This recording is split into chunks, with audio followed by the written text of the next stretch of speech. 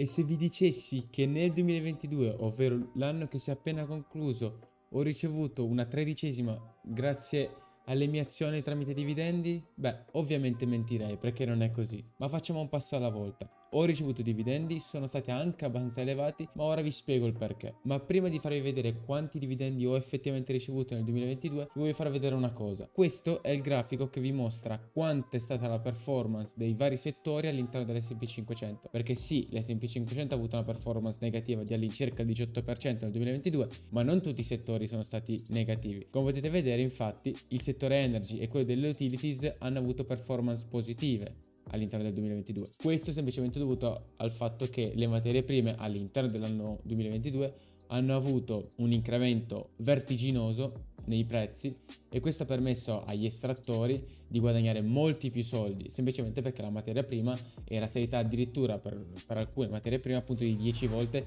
in praticamente due anni. E io ovviamente ne ho approfittato. Per chi non lo sapesse ho avuto anche in portafoglio Shell che ho deciso di chiudere lo scorso trimestre ho avuto in portafoglio Enterprise Product Partners, che era un'altra azienda nel settore energy dove ho guadagnato veramente tanti soldi. E la cosa che vi voglio chiedere è: avete piacere che vi porti un video dove andiamo ad analizzare secondo me quali saranno i settori su cui puntare nei prossimi 1-2-3 anni? Fatemelo sapere qua sotto con un commento e con un like. Torniamo al discorso dividendi però. Allora, come potete vedere da questo grafico qua, questi sono stati i dividendi che io ho ricevuto nell'anno 2020 quando ho appena iniziato ad investire su questo portafoglio qua. Premetto sempre che il portafoglio che vedete è il portafoglio pubblico che ho deciso di aprire in concomitanza con il canale YouTube. Poi ho successivamente altri due portafogli che sono uno mio personale dove investo la maggior parte dei soldi. Oltre a quel conto lì però gestisco altri due conti che sono uno il conto di mio padre e due un conto cointestato tra mio padre e un suo amico e ovviamente quelli sono i conti dove ci sono la maggior parte dei soldi. Perché? Per chi non lo sapesse ho 24 anni. So che ne dimostro di meno ma ho 24 anni. Sul conto che gestisco io per il canale youtube diciamo ho avuto dividendi nel 2020 per all'incirca 123 euro. Andiamo a vedere però quali sono stati il 2021 perché come vi ho già detto il portafoglio che gestisco per youtube lo gestisco tramite piano d'accumulo e investo all'incirca 100 euro a settimana che sono all'incirca 5200 euro l'anno. Quindi ovviamente i dividendi sono in crescita. Infatti nel 2021 ho avuto dividendi per 218 euro. Questo perché tendenzialmente le aziende che ho io in portafoglio aumentano i dividendi anno su anno e il secondo motivo è stato il fatto che ho investito più soldi su altre aziende, quindi all'aumentare del patrimonio investito aumentano anche teoricamente i, i dividendi ricevuti.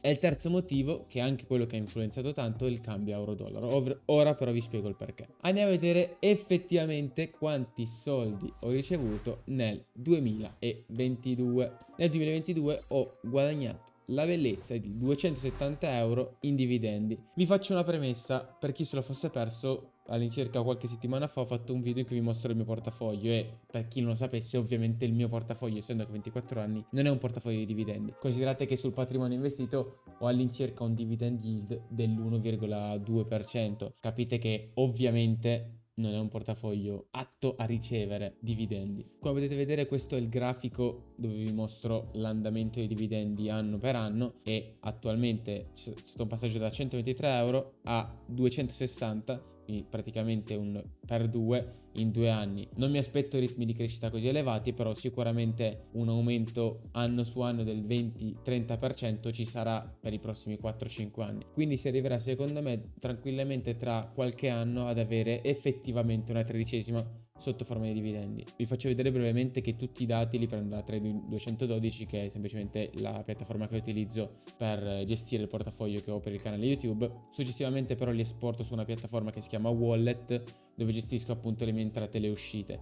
ed è lì che ci spostiamo adesso. Su questa piattaforma infatti combaciano le cose, infatti abbiamo 619,09 euro in dividendi su questa piattaforma qua e 619,10 su quest'altra qua. Ci spostiamo di qua semplicemente perché voglio farvi vedere quali sono le aziende che mi hanno portato più dividendi. La prima in assoluto penso sia JP Morgan perché ce l'ho praticamente da, mm, dall'inizio del portafoglio, ho ricevuto 45 euro in dividendi e mi fa piacere anche e soprattutto perché considerando che il dollaro si è rafforzato tantissimo negli ultimi due anni sull'euro, io ricevevo un dividend yield molto più alto rispetto a quello che avrei ricevuto se il tasso di cambio fosse stato un, un tasso medio. Considerate che il mio tasso medio di cambio è all'incirca a 1,12 euro dollaro e io l'anno scorso ricevevo magari dei dividendi con un tasso di cambio di 0,97 e infatti nel 2022 ho anche beneficiato tanto di, di questa cosa qua. Tant'è che su tante aziende ho guadagnato dei bei dividendi, soprattutto sulle banche che ho io dove guadagno anche tra l'altro tanto, ho ricevuto dei bei dividendini, infatti ho ricevuto 28 dollari su Bank of America, un'altra azienda su cui guadagno tanto sia in termini di performance sia di dividendi è Westrock, dove ho guadagnato 44 euro anche qua. E se voi sommate azione per azione, dividendo per dividendo, vedete che poi alla fine nei vari anni la performance cambia tanto anche in relazione al dividendo che ricevete. Altre aziende che mi hanno dato veramente tanti dividendi sono le, le farmaceutiche, infatti come potete vedere Abvi, che tra l'altro ho chiuso la posizione, per chi non lo sapesse, per chi fosse interessato ho chiuso la posizione. Un'altra azienda farmaceutica su cui ho ricevuto dei bei dividendi è Pfizer, dove ho ricevuto 16,50 euro